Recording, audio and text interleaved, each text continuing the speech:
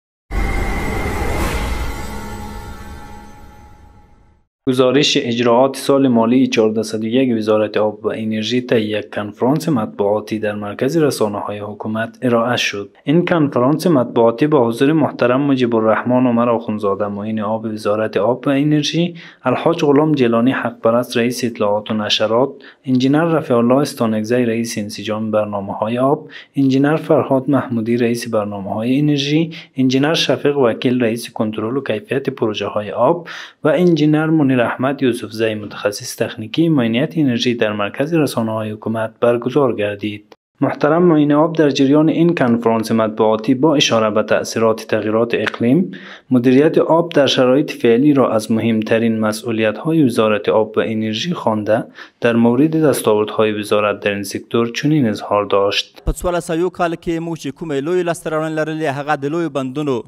د پاتې کارونو تکمیلول یا د هغه ته دوام ورکول دي. د هلمند ولایت د کجکي بند چې یو له لویو بندونو څخه دی چې اول اول پازې تکمیل شولو او همدارنګه دویم پازې چې د استملاک چارې نهایی شوې دي د هغه به انشاءالله شروع کیږي دوهم په نیمروز کې د کمال خان بند دریم پاز دی چې دغو چارې دوام لري انشاءالله په نږدې راتلونکي کې به هغه تکمیلیږي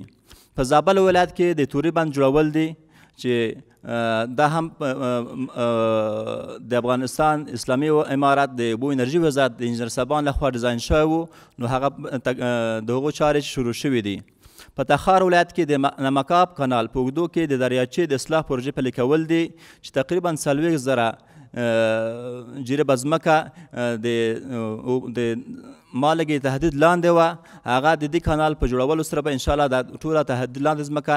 د د تهدید څخه بچ کېږي او همدارنګه د تقریبا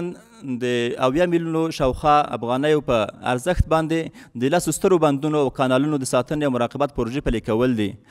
او په خصوصي شکل باندې ویلی شو چې په د امو سیند د څنډو تحکیمات چې زیات چې تقریبا پنځه ولایتونه د تهدید لاندې وو زیاتره سیمې تهدید لاندې وې ډېر خلک کوچېدلي وو ځمکې تخریب شوې وې د هغو څنډو تحکیماتو پیلول دي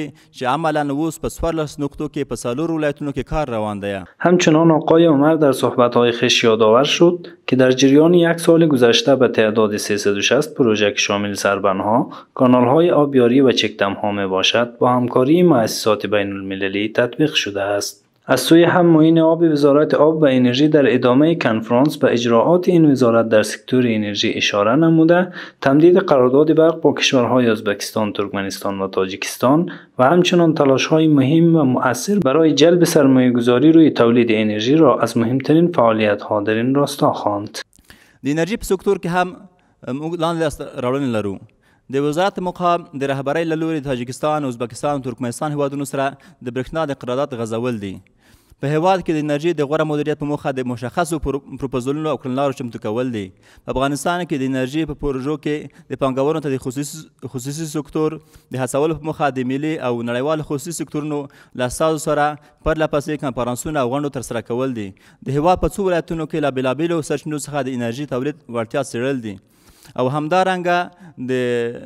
په شمال کې د ګازو له سرچینو څخه د برېښنا تولید په سکتور کې د پانګونې لپاره د یلو ریور شرکت سره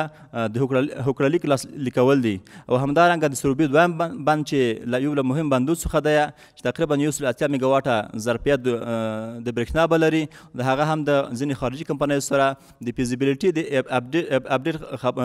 کار ته سر ته رسېدلی دی چې کله ان شاء الله موافقه د وزارت د تخنیکي بورډ واخیستل شي وروسته به هغه د عملي چارې یا د ډیزاین برخه هم شروع کیږي در ادامه این کنفرانس مطبوعاتی محترم معین آب و سایر رؤسا در مورد دستاوردهای سال مالی 1401 و برنامه های سال 1402 وزارت آب و انرژی به صورت مفصل و همه جانبه معلومات داده